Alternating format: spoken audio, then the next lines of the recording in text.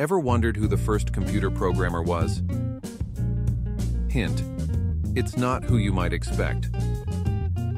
Let's dive into the story of Ada Lovelace, a 19th century mathematician who envisioned the future of computing.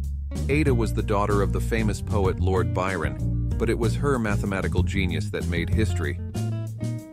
Working with Charles Babbage on his analytical engine, Ada saw beyond its simple calculations she published the first algorithm intended for machine processing, essentially the first computer program.